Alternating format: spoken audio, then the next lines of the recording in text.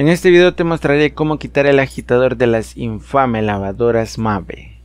Lo más fácil como verás es simplemente retirar esa pequeña tapa de plástico ayudándote de un desatornillador tipo plano para poder acceder a la tuerca que sujeta el agitador.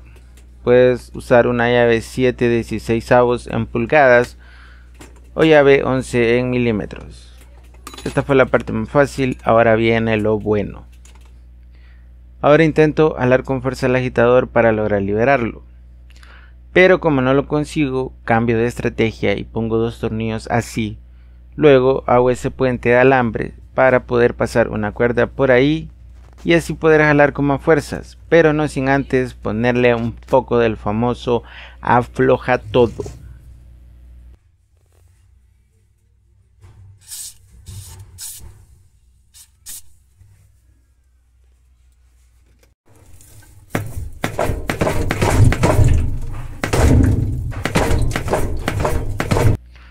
Después de tanto jalar no, obtengo ni el más mínimo avance.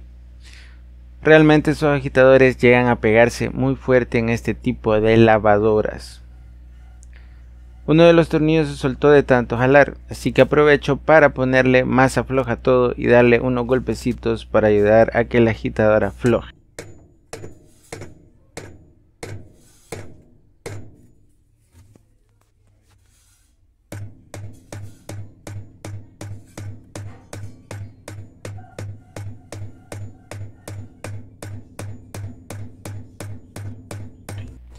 Coloco otro tornillo, jalo jalo, pero sigo sin avances. Otro cambio de estrategia ante la ausencia de resultado. Esta vez atravieso un pedazo de madera y giro el tambor con la esperanza que esta vez sí de resultados. Giro y giro, la cuerda se tensa cada vez más y yo también me tenso al ver que tampoco así hay resultados. Estoy frustrado. Realmente debo retirar ese agitador a como dé lugar. Tercer cambio de estrategia, se me vino a la mente la idea de usar un pequeño tecle de 2 toneladas que recuerdo haber visto un día entre tanta chatarra que tengo acumulada, y así fue. Cuando apareció el primer rayo de sol ya estaba fuera de mi cama buscando ese pequeño tecle. Lo encontré y lo usé. Quedando la lavadora totalmente suspendida solamente del agitador por más de una hora y adivinen, Efectivamente tampoco funcionó. Ahora viene la solución final y espero no me juzguen porque si han visto todo el video ustedes saben que al menos lo intenté. Pero la solución fue simple y sencillamente romperlo. Lo siento pero ya no pude hacer más. El agitador nuevo me costó 30 dólares con envío incluido. Y una cosa más, guarden los rodillos que no vienen incluidos con el agitador nuevo.